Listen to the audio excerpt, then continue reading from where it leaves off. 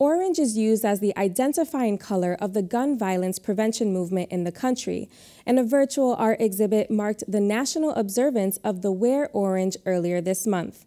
Locally, the exhibition Wear Orange, a virtual art exhibit, will take place in Easthampton, with selected pieces curated by Doris Madsen on public display downtown.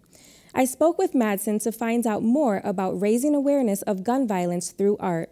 Wear Orange began with the story of a young high school girl from Chicago who was in a marching band at Obama's second inauguration. And shortly after that in Chicago, she was shot. I don't know the specific story of that shooting. Her friends got the idea to use orange since it was her favorite color. And it went from there.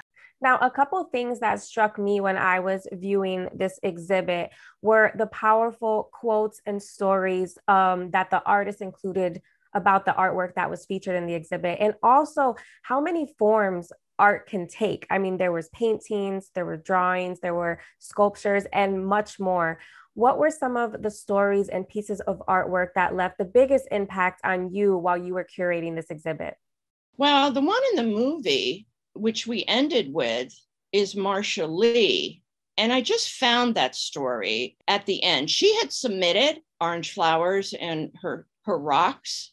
She she was really touched by the whole thing. And it shows how somebody like Marsha can pick up the pieces and work on behalf of Gun Sense one of the featured local artists, um, Arch McInnes, included a quote in the virtual exhibit um, with artwork that said, quote, gun control issues have split this country apart. Common sense gun restrictions are all that are necessary.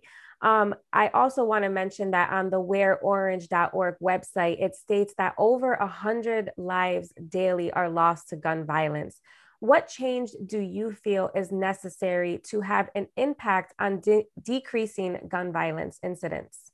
Well, everybody has to understand the need, and and that goes from you know localities, towns, cities, uh, you know, state governments, and our federal governments. It's it's at many it's at many levels, and you know, state governments they're all different everybody has to understand that. But it is the power of voting.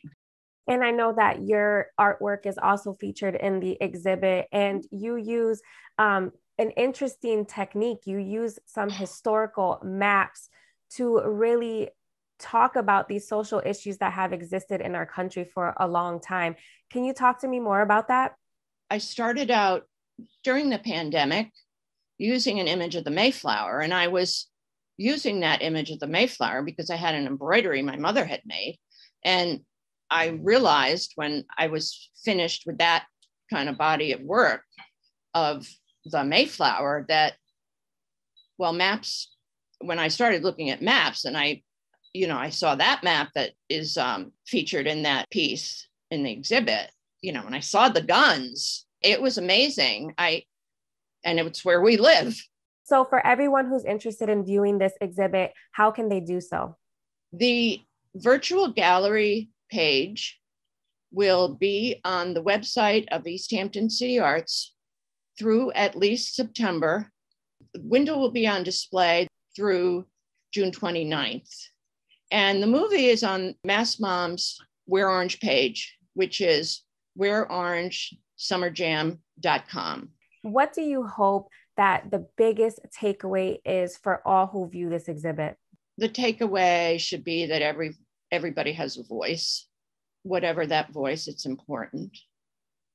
And together we can make a pretty powerful statement.